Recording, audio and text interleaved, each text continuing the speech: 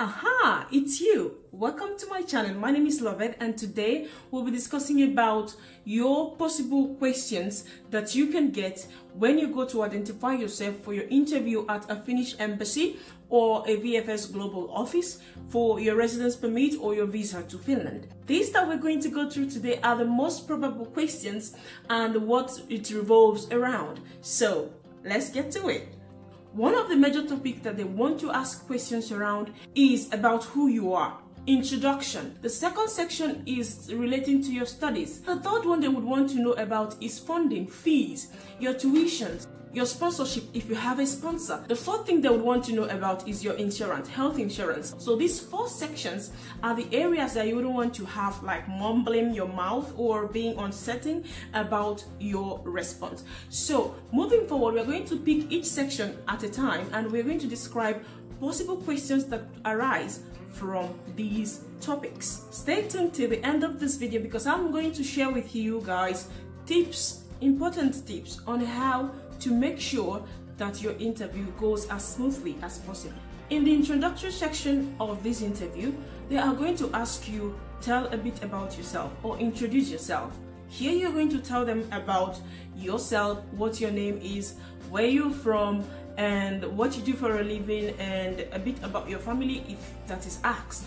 And then they are going to want to know about your your plan why you have come here today for instance like what brought you here then you would say like things like of course i got admissions and and um, i want to travel to finland for my studies that would move the interview to the second topic which is about your studies what about your studies what program are you going to study they would want to know that from you and they would ask you what is the duration of your studies they might ask also do you know anybody in Finland? You have a relation in Finland or a friend in Finland. How did you get to know about the study program?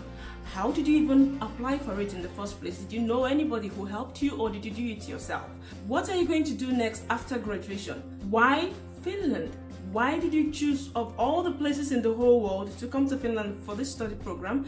And why did you choose the study program? So you have to have answers to these questions. You need to know a bit background about why and the advantages of studying in Finland so that you give it back to them. You need to know a bit, prepare yourself a bit on the study program that you are coming to study. Every information about the study program is always in the school website. So you are covered. You just have to go to your school website and go to the program that you got and you are going to read enough to clear you when it comes to about your studies and stuff like that. Then the city where you are coming to study here in Finland. For instance, if you're coming to Jyväskylä or Tampere, you have to know a bit about the city. You have to know like the very basic information about the city. Then it's moving us to the third section of the interview, which is about finance. Finland immigrations don't play with finances. They want to know that you are comfortable, that you are capable financially to take care of yourself and your financial need during your stay in their country. On this sponsorship, you have to know your relationship between you and your sponsor because they're going to ask what is the relationship between you and your sponsor? And again you have to know the nature of the business your sponsor is doing. Like i always say it is very important. Ask your sponsors these questions. What nature what businesses are they into? How much this your sponsor is making in a year for instance? They would want to know that does this your sponsor have a family? And is this your sponsor going to be able to keep up with his family and sponsoring you at the same time? Yes or no? And why is that? Why do you think so? It's always best to know too much and be ready to give as much information as asked than having a very little information bank and just looking at the, uh, your interviewer with this eye of like, I'm lost. You can be lost on that day. So we are getting you ready. So go read, go ask, all the questions regarding your sponsor's businesses, how much is earning, and how much is in his account as the balance at the moment. They might ask you that. And they'll ask also how much you have as the balance in your own account statement because they want to know also that you have the money to take care of yourself. So these things they would want to ask, get yourself ready. Like imagine all these questions and ask, find answers to them and keep it in your bank of knowledge. And finally, on the insurance, you know the insurance companies that they already listed that you have to get your insurance from. You make sure that you get your insurance from those companies they mentioned. And as well, how long is this insurance? How much did you pay for the insurance in the first place? How long is it valid? It's usually one year on the list. How long is it valid?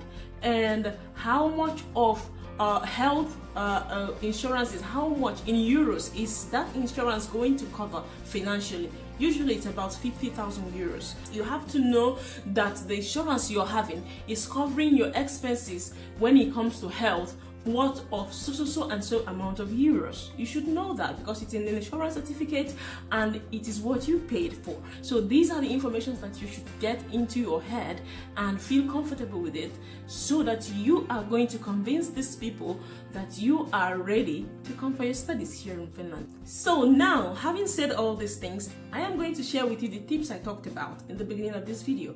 First and foremost stick to the questions asked the, the thing about people is that they are always complicating themselves by giving too much information.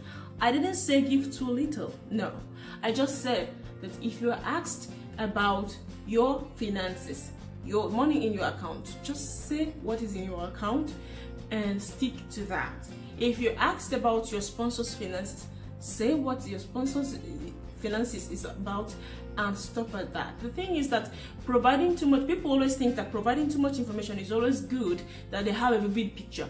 But sometimes providing too much information is actually exposing yourself. So it's always it's always best to give as much information as needed. Answer the questions and zip your mouth. Like I always tell you, if Finnish immigration needs additional documents or information from you, they would ask. So don't sell yourself out before you even get started. Tip number two is do not make them feel like you're coming here for some other motive, like coming to live for the rest of your life in Finland, for instance. It's something that is very tricky. Sometimes it's always on the negative side that it feels like you are using the study program to come live in Finland, which is like two different things. So always try to push away that urge to say that I am coming to here to study and live here and enjoy Finnish society and you know like try to avoid showing them even if that is your intention that you actually intend to stay here for longer than your study duration. Don't do that for your own good. And then last but not the least try to be on time at the interview place it is okay to be 30 minutes earlier than it is very bad to be two minutes late. Please guys, be there on time. So that's it for today's video guys and I'm hoping that you are going to crush this interview honestly and I hope for the best for you. If you haven't subscribed to my channel, you are missing out. I can tell you that.